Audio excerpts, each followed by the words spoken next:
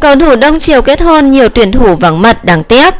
Tiền vệ Trần Hữu Đông Triều đã chính thức lên xe hoa với bạn gái Phạm Lê Ngọc Linh vào sáng ngày 19 tháng 12. Đám cưới được tổ chức tại quê nhà Quảng Nam. Đám cưới được tổ chức đúng ngày dù trước đó Đông Triều tỏ ra lo lắng bởi ảnh hưởng của dịch Covid-19.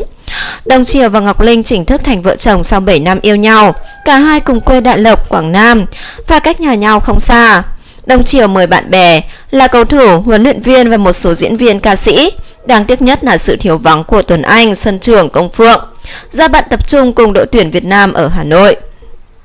Dù không có mặt, Công Phượng, Tuấn Anh, Xuân Trường vẫn kịp góp mặt trong bộ phim ngắn của Đông Triều có tựa đề Chuyện tình bánh tráng thịt heo. Trong phim, Công Phượng làm xe ôm, còn Tuấn Anh, Xuân Trường làm nhân viên quán bánh tráng. Đồng Triều sinh năm 1995, cùng lứa một học viện Hoàng Anh Gia Lai với bộ ba kể trên. Anh từng gây tiếng vang cùng lứa U19 Việt Nam. Trước Đồng Triều, Công Phượng là cầu thủ đầu tiên trong nửa đầu của Học viện Hoàng Anh Gia Lai kết hôn.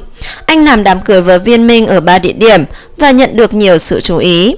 Sau Đồng Triều, một số tuyển thủ Việt Nam cũng chuẩn bị làm đám cưới. Có thể kể đến là Xuân Mạnh hay Bùi Tiến Dũng.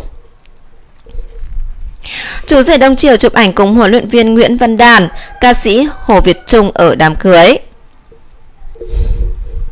Cảm ơn cả nhà đã lắng nghe video của Pi. Cả nhà đừng quên ấn like và đăng ký kênh để nhận được những thông tin mới và hot nhất về các video tiếp theo. Xin chào và hẹn gặp lại.